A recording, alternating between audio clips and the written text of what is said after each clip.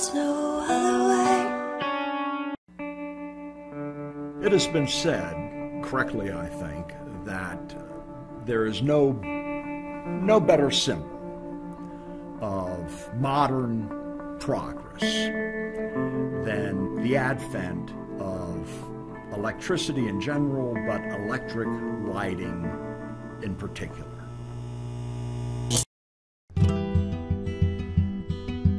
Twinkling of cities at night always says to me, look at us as a species. This is what we do. What's happened over my lifetime is that you have a kind of sprawl with city lights spilling out into the surrounding regions. Our society is kind of taking over the wilderness, but it's happening slowly and no one really notices it.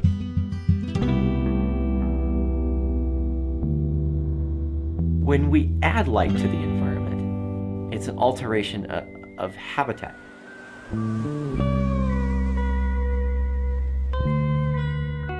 Our society is moving more and more towards a 24 7 lifestyle, and we don't really understand what the long term health consequences are.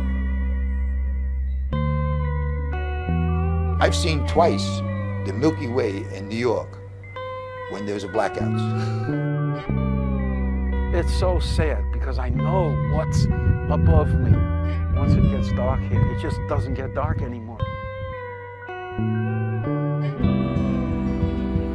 Most human routines make no reference to the cosmos at all. So you might say, well, why do you need it? If our civilization didn't see the stars and didn't see how big the universe was, would they come to believe that they're more important in this much tinier universe because that's all they see? I worry that our lack of contact with the sky is doing something to us that's very subtle. Who knows what the ultimate effect